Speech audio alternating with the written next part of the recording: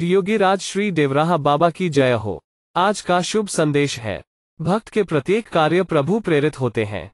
भक्त भगवान की आत्मा है। वह भगवान को अपना जीवन धन मानता है। इसीलिए भक्त जैसी इच्छा करता है, भगवान वैसा ही करते हैं।